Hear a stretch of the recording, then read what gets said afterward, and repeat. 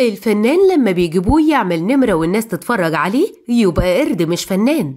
انت انسان مش محترم ومش هقول اسمك ونظف قلبك من الغل والصفار يمكن ربنا يكرمك بدور تمثله.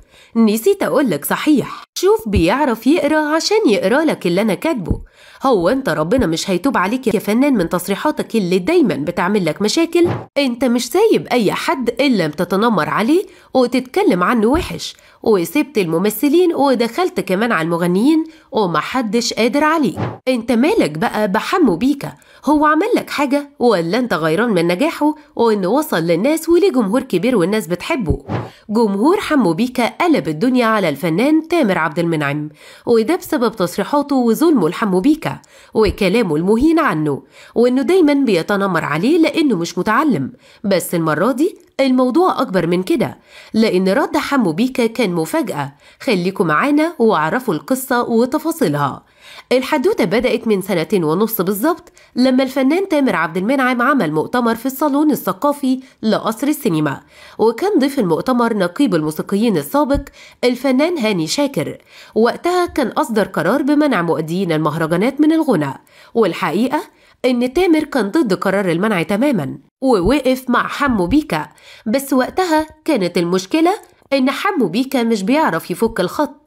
يعني مش بيعرف يقرا ولا يكتب. وقال كمان إنه عشان يدخل اختبارات النقابة لازم يعرف يقرا ويكتب على الأقل. بس كلنا عارفين إن في فنانين كتير من الزمن الجميل ما كانوش بيعرفوا يقروا أو يكتبوا وبقوا نجوم كبار. يعني مش شرط إنه يكون متعلم المهم يكون عنده موهبة. وطبعا تامر شايف إن بيكا لا عنده موهبة ولا حتى متعلم لكن ليه لون بيعرف يقدمه والناس كمان حباه. عشان كده ما ينفعش نمنعه من الغنى وفي المؤتمر ده حد سأل تامر هل حمو بيكا أفضل من عبد الحليم حافظ؟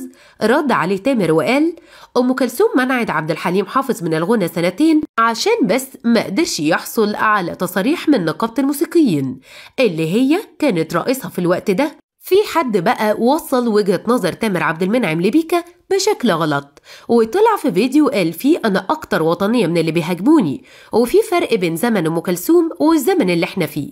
وإزاي أصلا تشبهوني بعبد الحليم حافظ؟ تامر عبد المنعم يسكت؟ لا طبعا. كتب بوست على الفيسبوك وقال فيه السؤال للدكتور حمو بيكا ولا ما حموهوش؟ وقال كمان أنا ما هاجمتكش أساسا. وختم بقى البوست بتاعه وقال له نسيت أقولك. أبقى شوف حد بيعرف يقرأ عشان يقرأ لك. بصراحة بقى كده عيب قوي مش لدرجة إننا نعاير بعض كده. الكلام ده جرح بيكا وضايقه وكتب عنده على الفيسبوك وقال ردا على المدعو تامر عبد المنعم. الحمد لله أنا مش مستني حد زيك يقول لي اقرأ أو ما تقراش. أنا معايا إخواتي هم عيني وظهري. شوف لك أنت حد ينظف قلبك من الغل والصفار. وكمان التنمر يمكن ربنا يكرمك وتلاقي دور تعمله ولا حاجة. الموضوع اتقفل وقتها وخلاص لغاية ما ظهر تامر من تاني في برنامج العرافة في رمضان. ولما قالت له بسمة وهبة إن حمو بيكا أشهر منه وكمان إنه بيهاجمه عشان غيران من نجاحه رد تامر وقتها وقال مين ده اللي أغير منه؟